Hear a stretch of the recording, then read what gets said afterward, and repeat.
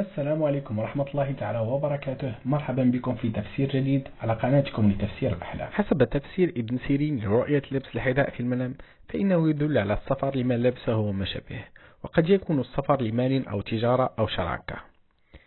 ويقول أيضا أن النعل في المنام للرجل على وجه العموم امرأة فإن كان من جلد البقر كانت امرأة جميلة وإن كان الحذاء في المنام من غير نعل أن غير محذوف على البنت العذراء ورؤية حذاء الجلد في المنام تدل على العلاقة الجيدة مع الآخرين وعلى العز والحماية إن شاء الله. أما المشي بالخف في المنام حسب تفسير ابن سيرين إن كان على ما هو مكروه كالوحل أو الشوك أو ما شبهه كان دليلا على الوقاية والحماية.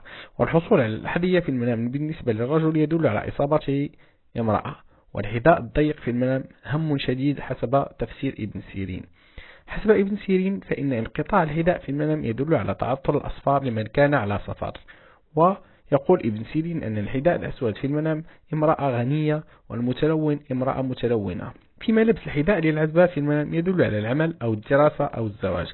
والمتزوجة صلاح حالها مع زوجها وللأرملة حلوى مع بنتاول ورؤية سرقة الحذاء في المنام لا خير فيه إن كان الرائي مسروقا فهي تدل على الخيانة الزوجية. هكذا نكون قد وصلنا إلى نهاية تفسير اليوم. أتمنى أن ينال إعجابكم وإلى اللقاء في تفسير جديد على قناتكم. إن شاء الله.